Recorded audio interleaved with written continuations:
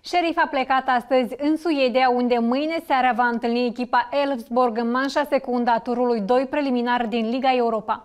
Partida va fi transmisă în direct de Wii Sport de la ora 20. То, что в первой игре э, мы допустили эту ошибку и пропустили гол с пенальти, э, ну, будем ехать туда, опять же, ж, э, за положительным результатом, Чтобы он был в нашу пользу. Șerif a pierdut meciul tur de la Tiraspol cu scorul de 0 la 1 și va încerca să-și ia revanșa pe terenul lui Elfsborg. Хочется доказать, что э, это поражение было, ну, как не случайным, но, опять же, у нас должен быть положительный результат. И к этому будем стремиться. Дух победителей, он должен быть постоянно, а не так просто на одну игру или на две.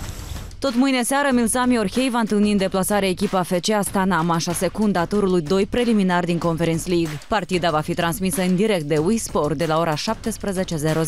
În tur, scorul a fost egal 1 la 1.